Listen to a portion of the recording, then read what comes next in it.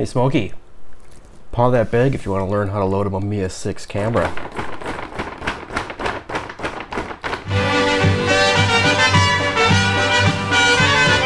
So you recently went to that auction site or that site that cannot be named or whatever else you call eBay because for some reason you're scared of calling it eBay and you buy yourself a Mamiya 6 rangefinder because you're really into film photography and this camera is sweet. But you get it and you're like, oh no, I don't know how to put film in it. What do I do? Well, you watch this video and I'm gonna show you how to put this film into this camera and not the other way around because that would be weird. First thing I'm going to do is just collapse the lens because it makes it a little stable while opening it on a table like I'm going to do for this video. And we are to take our camera. To open it, we need to, this is a button here, you got to push down on this button and then pull the tab below it and it'll pop open. So now your camera's open and ready to be injected with film.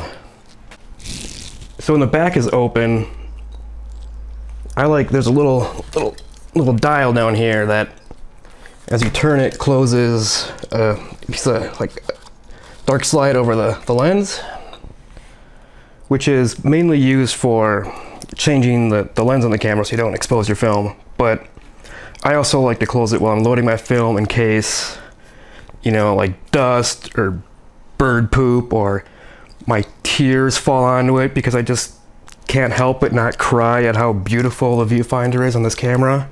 Big and clear. Mm.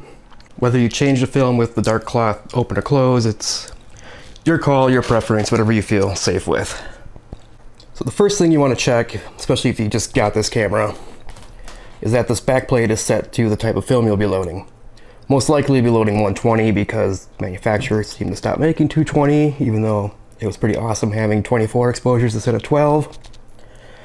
But to set it you just need to rotate the plate so the dot matches whichever film stock you'll be using. The first thing you'll want to do is get the empty spool over into the take-up reel spot. The side with the lever that the film advances onto as it gets exposed. So to release the film, there's these little two little orange tabs. You just want to push them outwards and the bottom will snap out, unlocking the reel. Move it over, line up the key to the top and push it in.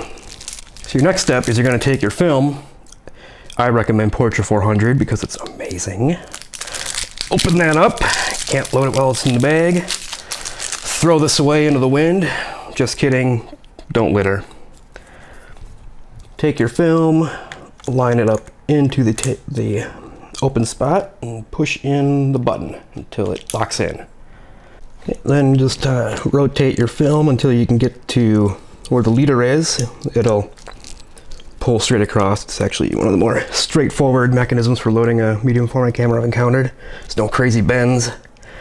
And just rip through the, the paper, pull your tab off, get rid of that, and then grab the film lead and roll it over. Just work the lever until you can get to the slot to put the leader in. Tuck it in and advance it until the arrow load matches up with the arrow right here.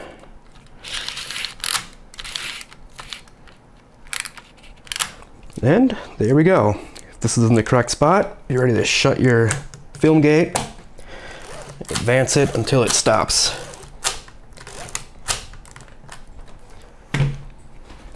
And the last thing to remember is if you did shut the the dark the dark cloth for the lens as you need to now take this lever and pull it down and to the right and that'll open it back up the camera won't let you actually take a picture with it shut, but if you forget about that for a moment, you can have this panic where you try to shoot a picture and nothing happens and this red light comes on and you're like, oh my god, that guy on that site that can't be named ripped me off and sold me a bad camera and start crying because you might not get your money back because you hate that site. And, it's okay.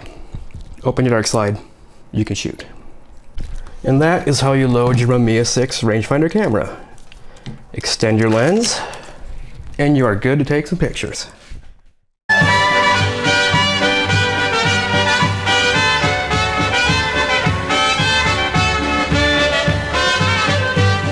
Ty co ty chcesz? Czego zawsze mordę drzesz? Nie dasz wypić, nie dasz spać, a teraz mi nie dasz slać.